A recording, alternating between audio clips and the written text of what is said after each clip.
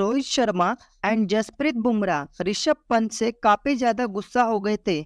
जी हाँ गाइस कल India versus Australia match के दौरान 206 का टारगेट मिला था। जसप्रीत बुमराह सेकेंड ओवर में बॉलिंग के मिचल मास्ट के जब उन्होंने बॉल को पुल किया था, लेकिन वो ठीक से पुल नहीं हो पाया, जिसके कारण बॉल ऋषभ पंत के आसपास ही गिर गया। लेकिन जिस तरीके से ऋषभ पंत कैच को अप्रोच कर रहे थे, उस चीज़ को देखकर रोहित शर्मा एंड जसप्रीत बुमराह उन पर काफ़ी ज़्यादा गुस्सा हो गए। रोहित शर्मा तो बीसी वाला गाली भी दे दिए थे।